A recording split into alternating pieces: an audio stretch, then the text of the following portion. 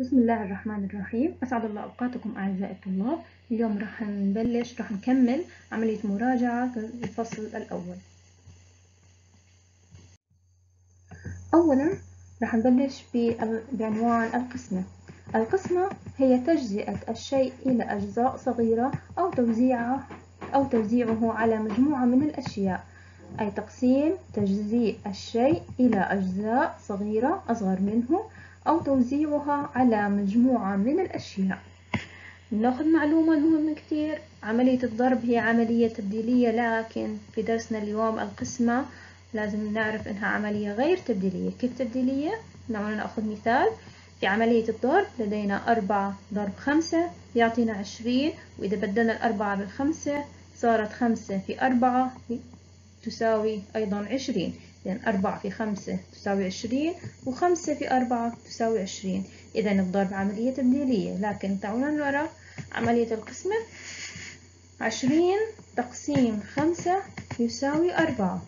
عشرين تقسيم خمسة تساوي أربعة لكن إذا عكسنا العشرين والخمسة عشرين خمسة تقسيم عشرين فهي لا تساوي أربعة. خمسة تقسيم عشرين مش نفسها عشرين تقسيم خمسة. وأعزائي الطلاب لازم نعرف قبل ما نجري عملية القسمة موضوع قابلية القسمة. أي متى يقبل العدد القسمة؟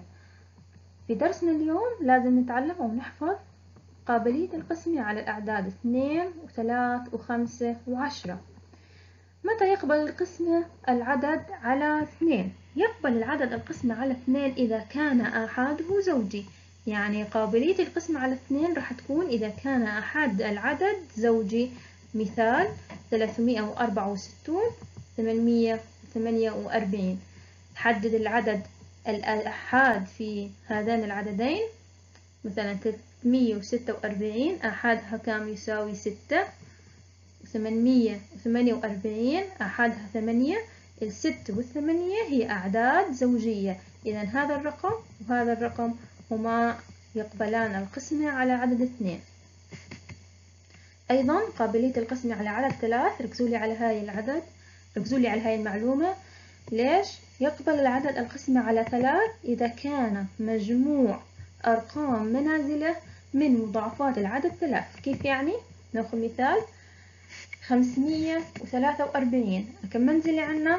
هون منزلة المئات الخمسة منزلة العشرات الأربعة ومنزلة الآحاد اللي هي ثلاث لو جمعنا جميع المنازل عملية جمع ثلاث زائد أربعة زائد خمسة جمعناهم جمع الناتج لازم يكون من مضاعفات الثلاث إذا خمسة وأربعة وثلاث حاصل جمعهم يساوي 12 ال 12 من مضاعفات الثلاث؟ طبعا من مضاعفات الثلاث. إذا هذا الرقم 543 يقبل القسمة على ثلاث. مثال ثاني 375 عندنا منزلة ثنتين ثلاث منازل نجمعهم ثلاث زائد سبعة زائد خمسة يعطينا الناتج خمسطعش. هاي الخمسطعش هل هي من مضاعفات الثلاث؟ نعم العدد خمسطعش من مضاعفات الثلاث. إذا العدد 375 يقبل القسمة على ثلاث. أيضا قابلية القسمة على خمسة. متى يقبل الرقم القسمة على خمسة؟ إذا كان آحاده صفر أو خمسة. يعني إذا كان المنزلة الآحاد إما صفر كما في المثال هذا أو خمسة كما في المثال هذا. فهذان العددين يقبلان القسمة على خمسة.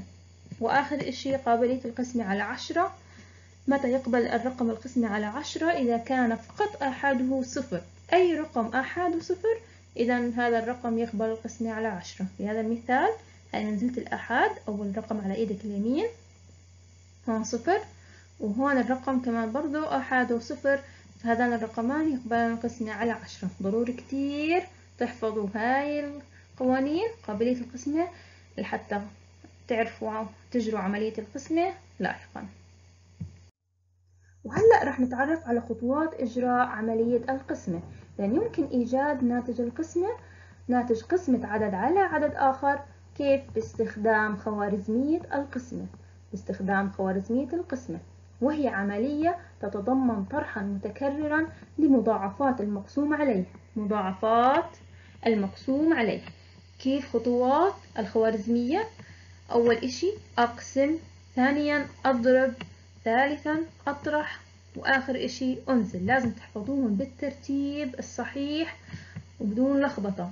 أولا أقسم بعديها أضرب أطرح بعد آخر إشي أنزل. أنزل منزل جديد أو رقم جديد. ثم أكرر هذه الخطوات إلى أن ينتهي العدد المقسوم.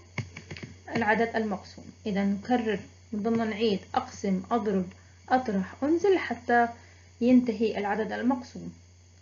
في عملية الخوارزمية في طريقة للتحقق من صحة الحل. هل حلنا صح أو لا؟ نأخذ القانون نضرب ناتج القسمة. ضرب المقسوم عليه. ونجمع لهم الباقي. لازم يطلع عنا الجواب يساوي المقسوم. إذا ناتج القسمة ضرب المقسوم عليه زائد الباقي يساوي المقسوم. وهلا أعزائي الطلاب لازم نتعرف على عناصر القسمة. ونعينها على عملية قسمة رح نجريها مع بعض. عناصر القسمة هي المقسوم والمقسوم عليه وناتج القسمة والباقي. إذا المقسوم والمقسوم عليه وناتج القسمة والباقي. هاي العناصر رح نعينها هلا على آه، عملية القسم اللي رح نجريها مع بعض ونتعرف على الخطوات. أول شي لازم نراجع. أول إشي قسمة نقسم نضرب أقسم أضرب أطرح أنزل. ونكرر هذه العملية مرات أخرى حتى ينتهي عنا المقسوم. إذا نقسم سبعة. تقسيم اثنين. ما هو الرقم الذي نضربه في ثلاث؟ بيعطينا الناتج. نضربه في اثنين. بيعطينا الناتج يساوي سبعة أو أقل من السبعة. في عنا ثلاث ثلاث ضرب اثنين بيعطينا ستة وهي أقل من السبعة. نكمل. بعد ما أضرب لازم أطرح. نطرح سبعة ناقص ستة ويساوي واحد. بعد عملية الطرح في عنا إنزال أنزل منزل جديدة اللي بعد السبعة اللي هي هنا أربعة.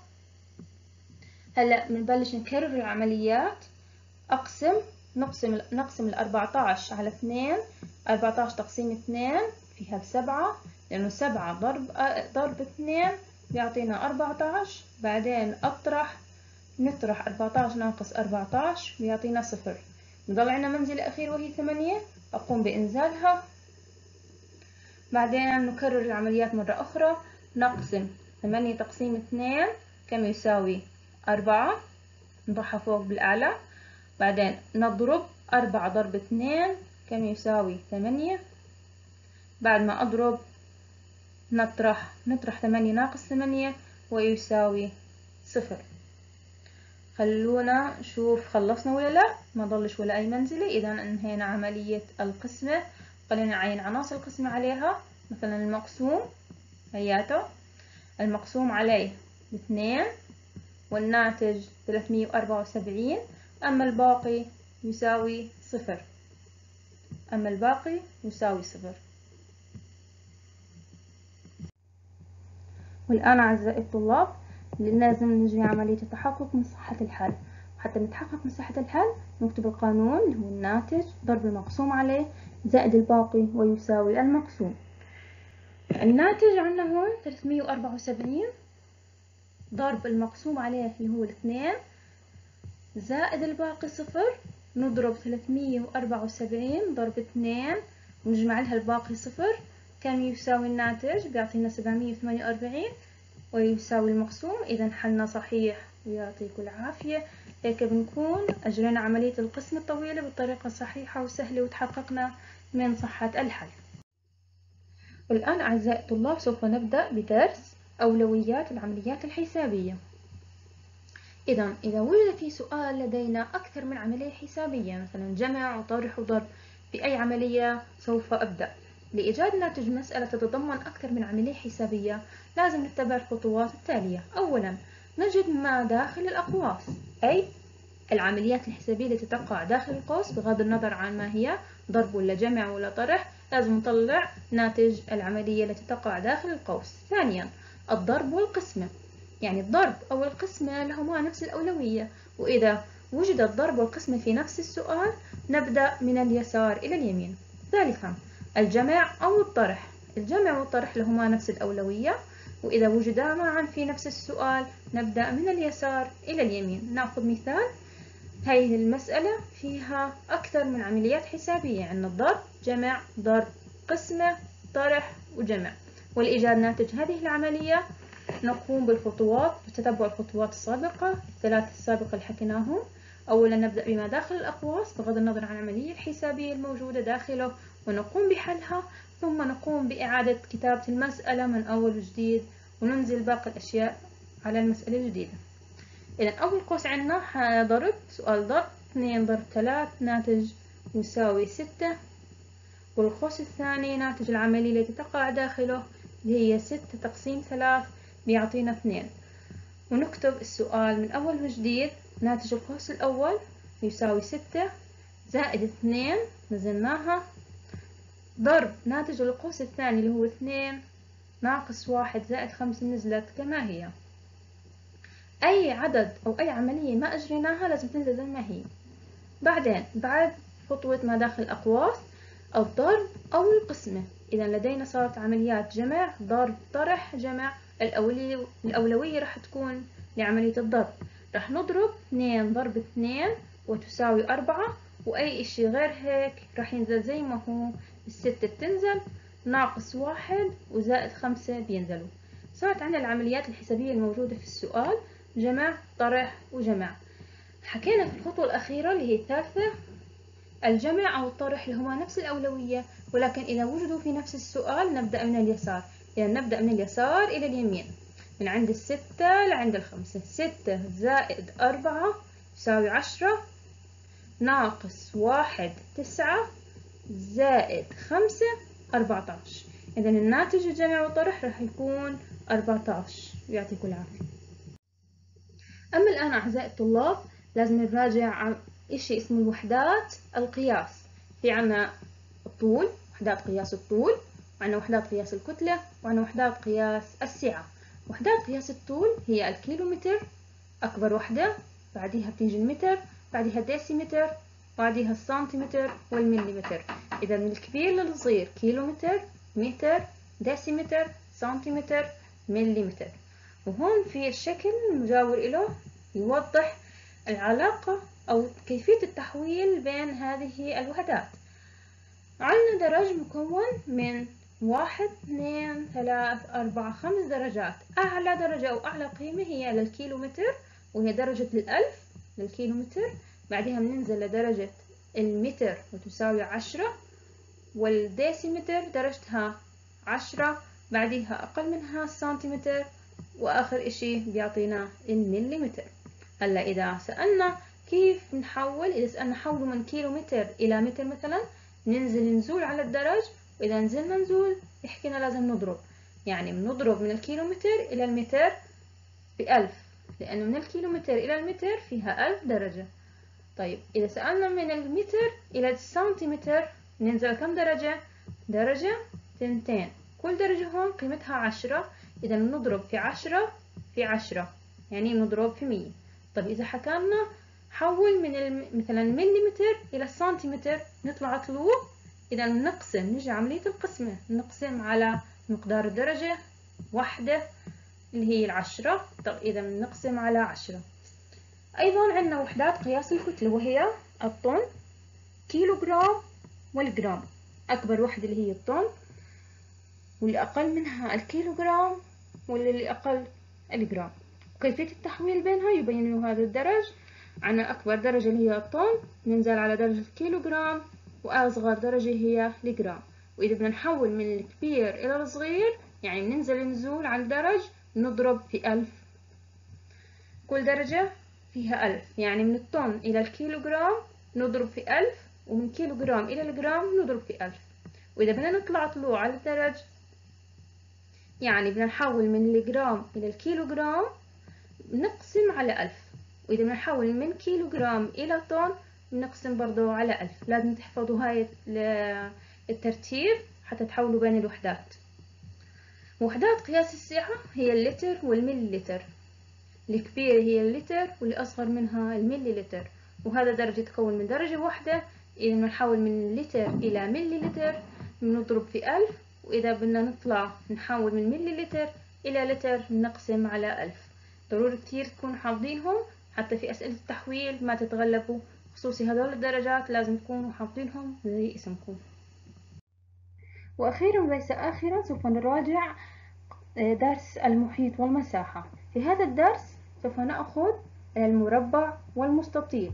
نأخذ محيط المربع ومساحته ونأخذ محيط المستطيل ومساحته. أولا محيط المربع. وهو ويساوي مجموع أطوال أضلاعه يعني مجموع أطوال المربع كاملة يساوي محيط المربع. بقانون آخر يساوي أربعة ضرب طول الضلع. لماذا حكينا؟ ليش حكينا أربعة ضرب طول الضلع؟ لأنه عندنا المربع جميع أضلاعه متساوية في الطول. يعني إذا كان عندنا مثلا أعطانا هاي قياسه خمسة راح يكونوا كلهم يساووا خمسة. وهذا خمسة وهذا خمسة وهذا خمسة وهذا خمسة. فبدل ما نجمع خمسة زائد خمسة زائد خمسة زائد خمسة نقدر نحكي أربعة ضرب خمسة أي أربعة ضرب طول الضلع. أما قانون مساحة المربع يساوي الطول ضرب العرض. طول ضرب العرض ضروري كتير تحفظوا هاي القوانين كتير مهمة.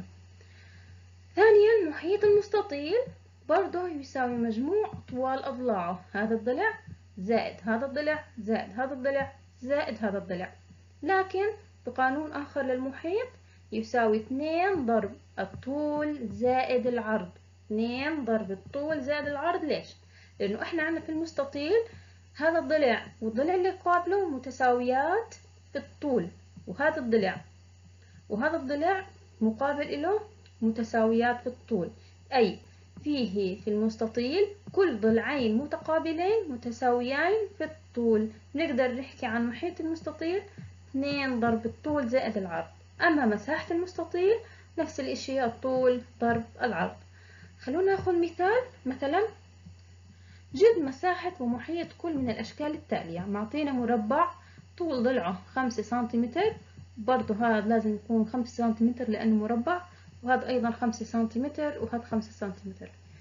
أولا لازم نجد المساحة. قانون مساحة المربع بيعطينا الطول ضرب العرض. في كل سؤال لازم بالبداية تكتبوا قانون المسألة. القانون لازم بالبداية تكتبوا القانون حتى تعرفوا على إيش وكيف بدك تحلوا طيب مساحة المربع يساوي الطول ضرب العرض. كم الطول عندنا؟ هاي خمسة سنتي.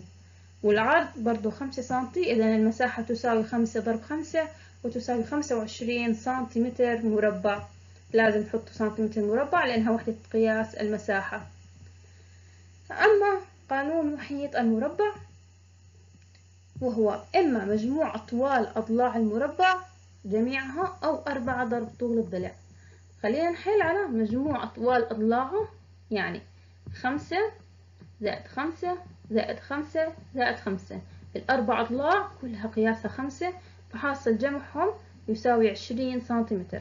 أما المستطيل مساحة المستطيل يساوي الطول ضرب العرض ويساوي خمسة اللي هو الطول ضرب العرض تسعة إذا الطول خمسة ضرب تسعة بيعطينا خمسة وأربعين سنتيمتر تربيع. لاحظوا قانون المساحة التربيع لازم يكون في تربيع. أما المحيط محيط المستطيل وهو مجموع أطوال أضلاعه أطوال أضلاع المستطيل كل ضلعين متقابلين متساويان في القياس. هذا خمسة واللي مقابل له خمسة وهذا تسعة والمقابل له تسعة. فراح يكون محيط المستطيل يساوي تسعة زائد خمسة زائد تسعة زائد خمسة ويساوي ثمانية وعشرين سنتيمتر فقط بدون تربيع هون لأنها قانون المحيط وحدته سنتيمتر وهون كمان أيضا محيط المربع بالسنتيمتر ويعطيكم ألف عافية.